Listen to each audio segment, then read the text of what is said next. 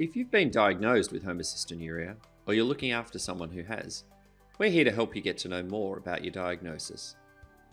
Knowing more about your condition is one of the best ways to understand what's going on in your body. Know what you can expect and know how treatment will help. You may be relieved at getting your diagnosis. Remember, this is only the first step on your journey. And you'll need to actively manage your homocystinuria to reduce the risk of further health problems in the future.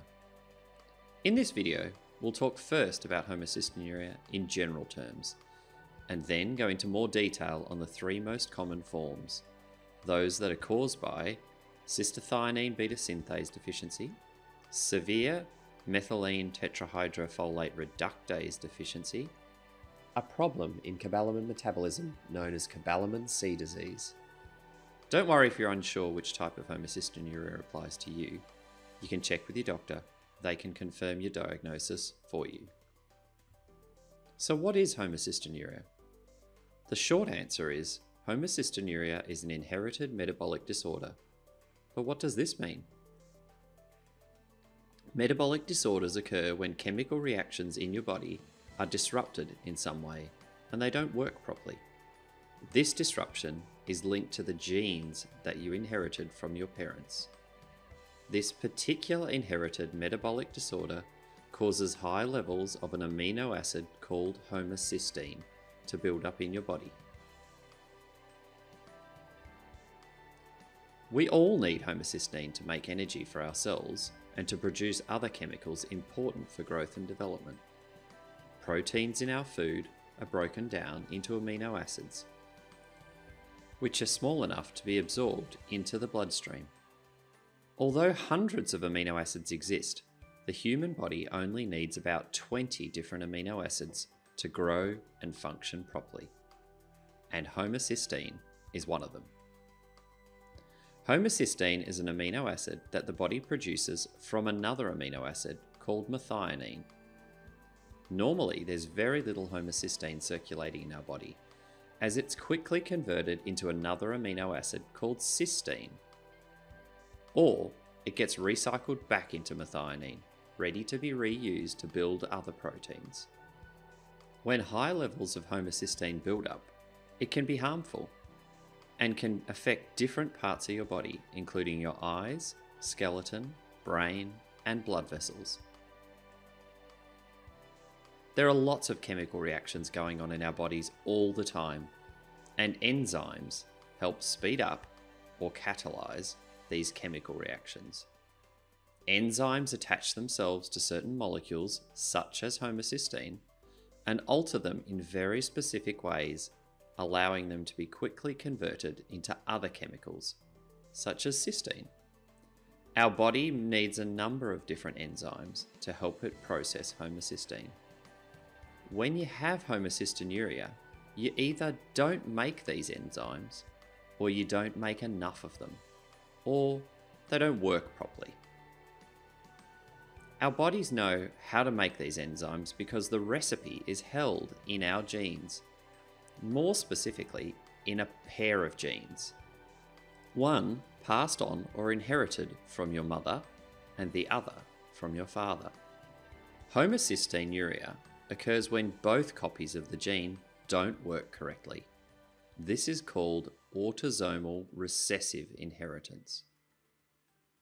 Some enzymes also need helper molecules called coenzymes or cofactors to work properly, and many vitamins act as helper molecules in our bodies.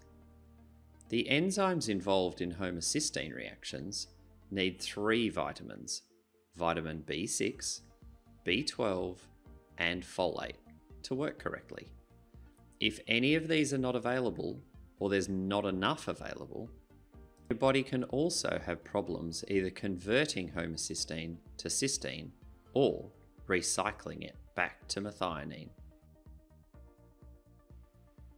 So, to quickly summarise the information we've talked about so far, homocystinuria is an inherited metabolic disorder our bodies need enzymes and their helper molecules to help it process homocysteine. When these processes don't work properly, high levels of the amino acid homocysteine and other chemicals can build up in your body. High levels of homocysteine can be harmful and can affect different parts of your body. There are many different forms of homocystinuria, each having its own causes, health issues, and treatments. We'll now briefly talk about the three most common forms, starting with homocystinuria due to cystathionine beta synthase deficiency. This is the most common form of homocystinuria, and although it has lots of different names, it's often referred to as classical homocystinuria or just homocystinuria. Form of homocystinuria is caused by a fault or mutation in the CBS gene. The CBS gene holds the instructions needed to make the enzyme called cystathionine beta synthase.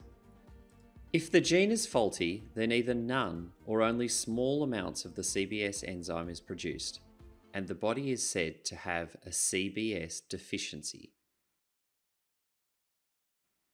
The CBS enzyme is needed to convert the homocysteine, along with other amino acid serine, to cystathionine before it can then be converted to cysteine. The CBS enzyme needs the help of vitamin B6 to work correctly. When the CBS enzyme is not produced or isn't working properly, it can lead to high levels of homocysteine in your blood and urine because homocysteine can't make cystathionine and it starts to build up. Can cause low levels of cystathionine and cysteine in the blood because homocysteine can't be processed to make these two amino acids.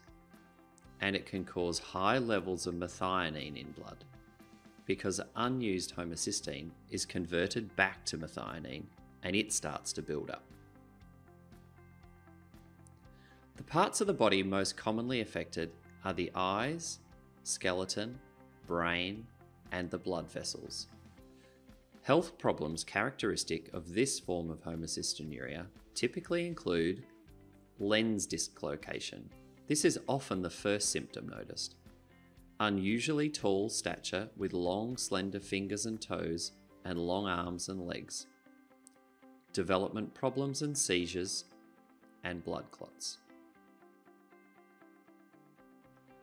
The second form of homocystinuria also has lots of different names, but is often referred to as just MTHFR deficiency. This form of homocystinuria is caused by faulty MTHFR genes. The MTHFR gene holds the instructions needed to make the enzyme called methylene tetrahydrofolate reductase, MTHFR.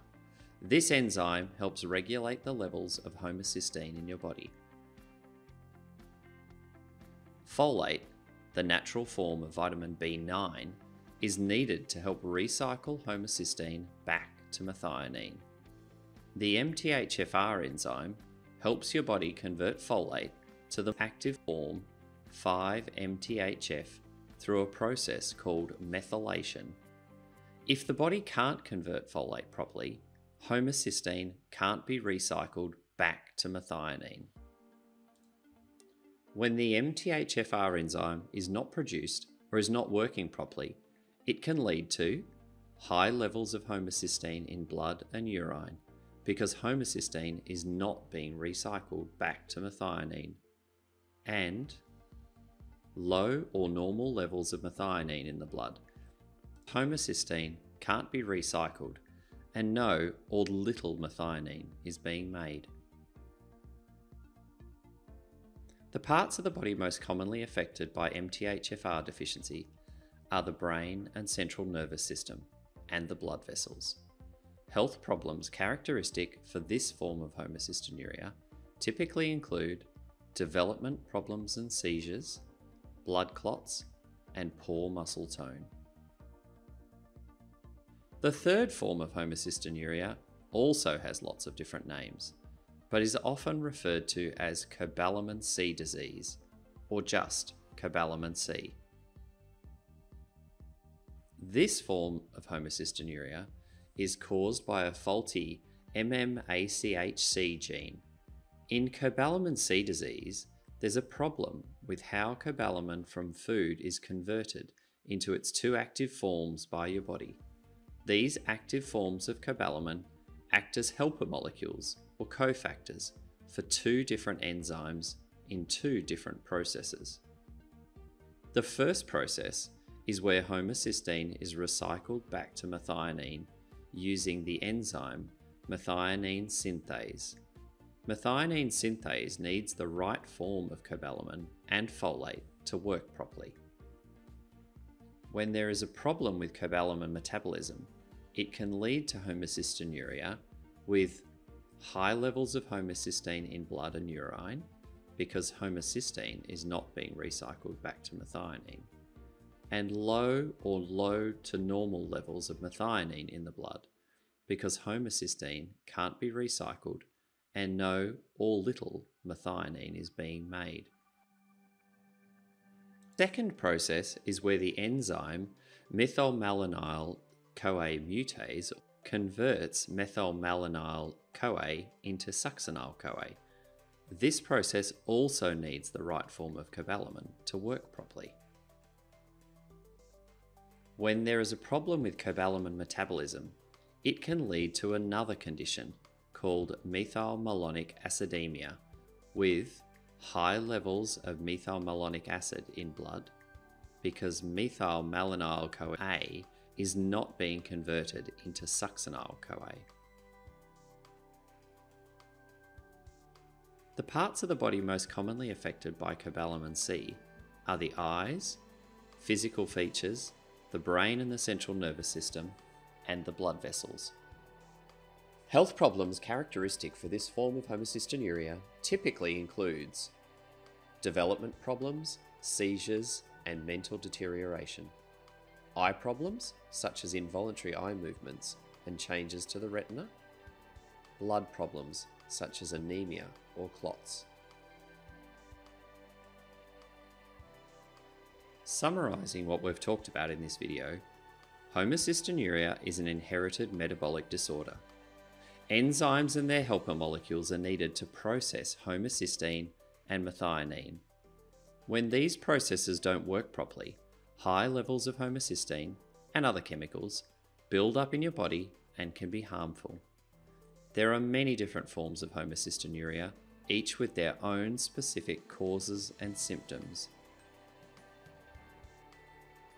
The three most common forms of homocystinuria are those due to problems converting homocysteine to cysteine, CBS deficiency, problems processing vitamins involved in converting homocysteine back to methionine, MTHFR deficiency involving folate metabolism, cobalamin C disease involving vitamin B12 metabolism. Hopefully, we've helped you get to know your homocystinuria a bit more, so you can feel more confident when talking to your healthcare team, your family, or friends. Remember, it's important to ask questions about anything you don't understand. Don't be afraid to ask your doctor or other health team members to repeat things or to write information down for you. Thank you.